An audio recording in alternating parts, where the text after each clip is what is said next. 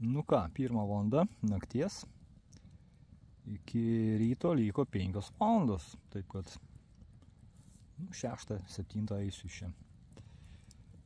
Tai va, kas svarbiausia, pasiimti degtukai, kad laužą uždegti, nu yra ten pirta dabar čia visokių uh, kaip ten vadinasi, aš tiksliai dabar nežinau ten uh, lietuviškai čia, bet uh, ugniai užkurti yra, yra, nu ir tab, tabletės galima pasakyti, bet yra parduotuvėse tokie kaip spaustas drožlės, labai gerai irgi. Plus, nu, apsirengimas geras, viską, batai, konės ir jeigu ten yra mėgmušis, kilimėlis, aš paprastą kilimėlį pasėmiau tokį, tai labai faina. Ir termosas. Termosas labai geras dalykas iš tikrųjų, įkaitė vandens, gali atsigerti, bet kada šiltos arbatos, čia yra, bet gerai, kad geras būtų termosas svarbiausia.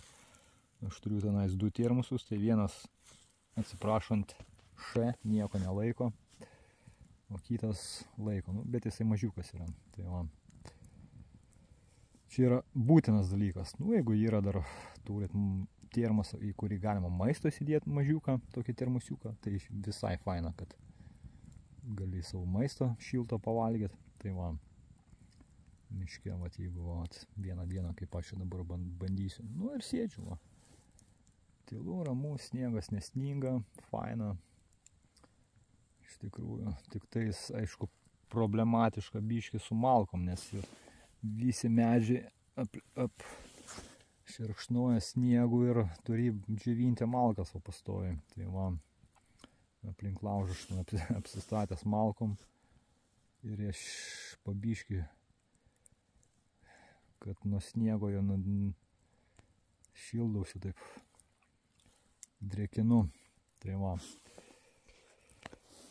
Nu ką, stovyklavom toliau, kaip sakoma.